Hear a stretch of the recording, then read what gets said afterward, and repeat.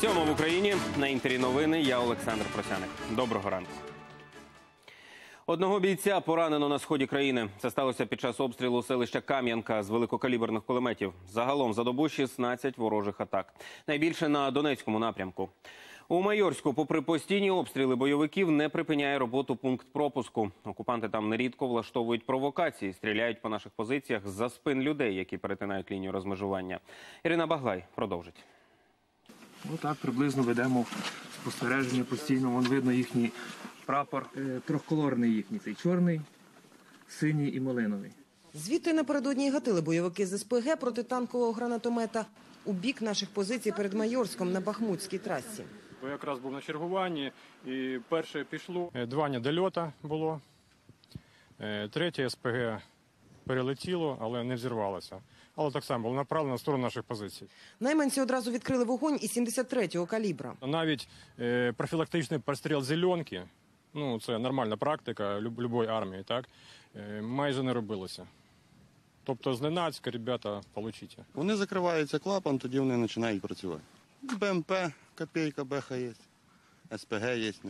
Клапан по військовому пропускний блокпост. Саме там бойовики ховають своє озброєння. Найскладніший час для українських солдатів ранок, коли російські найманці цілять з гармат по сусідній жованці, прикриваючись чергою мирних людей, які виїжджають на підконтрольну Україні територію. Вони починають з копійки по них працювати, пулемети, стрілкотня, автомати таке. СПГ теж летить в їхню сторону. Вони не можуть просто дати відповідь, бо люди вже знаходяться тут на території. Про своє життя на окупованій території люди з черги розповідають неохоче. Даються знаки години очікування. Кілька десятків кілометрів людям доводиться долати годинами. Так тяжело, да, идти? Нормально. Откуда добираєтесь? Очень долго. Пять часов. Пять часов мы стоим. Это нереально, девочки. Вот такая, такая погода, холодно, одеваемся. Вот бабулечки. Чи не щодня лінію розмежування тут в обидва боки перетинають до 7 тисяч людей, здебільшого літніх. З окупованих територій вони їдуть до мирної України за пенсіями. От, от нищеты, пенсії за пенсией. Работали для Украины, на Украину. Ее закрывают, мы обра- обратно открываем. Но живем середина на середину. Дайте Как нам же и какую-то там, комнату, и да? тут. Ну а где там дом? Ну где? Вот, например, я приду, ну дайте мне комнату, я буду там жить. Ну где я там буду жить, правильно? Здесь я родилась и, и заработала квартиру, правильно? Частину отриманих гривень одразу витрачають, купують українські товари. Кажуть, молоко, м'ясо тут дешевше, але багато у торбині з собою не провезеш. Конечно, с продуктами, а как же? Чому з продуктами здесь покупаєте продукти? А, по- а за что я куплю? За те две тысячи, которые мне дают? Які? Ну, ДНРовские. Можно купить, ну правильно, ку- буханку хлеба и и пачку соли. Зрідка хтось уже за постом під українським прапором наважується сказати, чекають на звільнення своїх домівок від бойовиків, але не на камеру, остерігаються розправи вдома. То, що ви покажете, а потім ну, мені там не жити. Да, боюсь. Бо мені туди їхати, у сім'ю. Що можуть зробити? Ірина Баглай, Даніель Косаковський, Євген Малярчук із Донецької області. Новини, телеканал Інтер. 200 снарядів, міни, гранати та 40 тисяч набоїв. Такий арсенал виявили поліцейські на Донеччині. Зброю зловмисники закопали поблизу Зайцевого Бахмутського району, через яке проходить лінія розмежування. Поліцейські встановлюють, хто саме облаштував схрони, для кого були призначені боєприпаси. Семеро людей постраждало внаслідок аварії на Львівщині. Легковик зіштовхнувся з пасажирським автобусом на дорозі Львів-Рогатин поблизу селища Залісся. В автобусі їхало 29 людей, шестеро з них зараз госпіталізовані. Постраждав і водій легковика. Його затисло в машині. Рятувальники допомогли чоловікові вибратися за допомогою гідравлічних ножиць.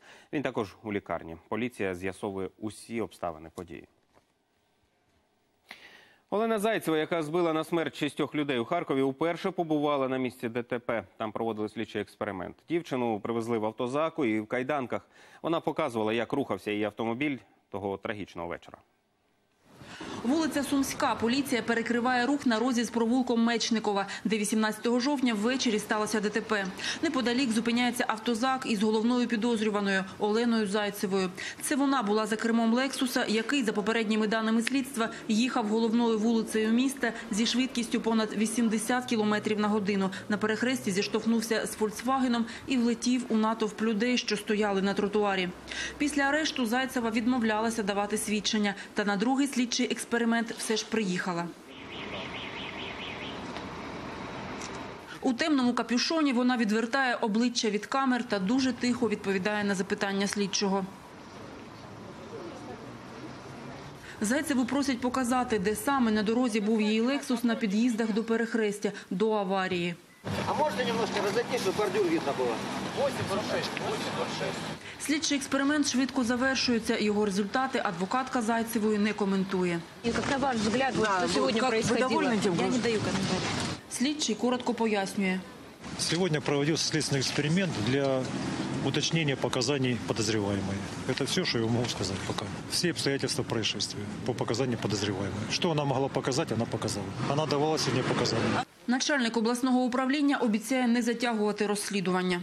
Практически все, что было необходимо, уже сделано. Даже если, э, возможно, где-то какие-то э, затягивания с какими-то лицами, то скорее будет выделено какое-то производство для установления каких-либо фактов. Это либо там установление объективности там, и законности полученных прав, там, э, гонок и тому подобное. Но сам факт, я думаю, он не будет затягиваться. Результати найважливішої автотехнічної експертизи, яка дасть відповідь на головні питання, у поліції обіцяють оприлюднити вже наприкінці цього тижня. Тоді й стане відомо, хто відповідатиме за смерть шести людей. Світлана Шикера, Олександр Яновський. Новини телеканал Інтер Харків.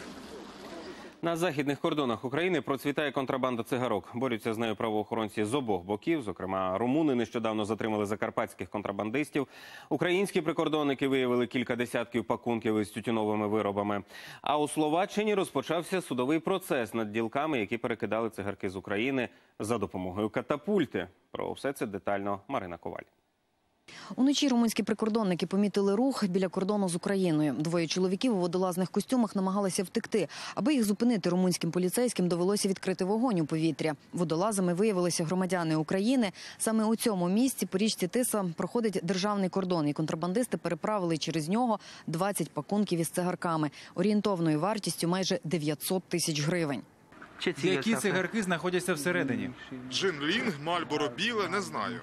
У Мукачівському прикордонному загоні кажуть, за інформацією румунських колег проводять службову перевірку і додають, тієї самої ночі теж на румунському кордоні помітили контрабандистів. Вони намагалися переправити пакунки, в яких було 12 тисяч пачок цигарок, але затримати зловмисників не вдалося. Під час патрулювання прикордонного я помітив рух осіб, які несли на собі пакунки і швидко рухались вздовж державного кордону. Коли вони побачили, що їх починають переслідувати прикордонники, вони покинули пакунки і здались до печі.